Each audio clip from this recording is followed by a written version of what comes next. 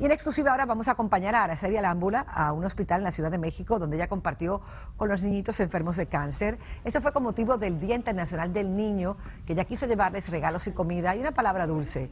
Ella dice que va a seguir luchando por esta noble causa. Eh, otro de nuestros niños, Christopher, y también Ricky, que falleció hace dos días.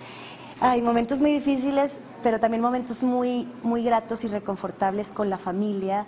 Hay muchos niños que se nos han ido en el camino, pero hay muchísimos que han sido eh, curados y han sido, eh, bueno, todos están con tratamientos y están con, tratados con mucho amor y mucho cariño, pero sí tenemos a muchísimos niños salvados, así que nos da mucha emoción. Los que vi ahorita que ya se van de alta.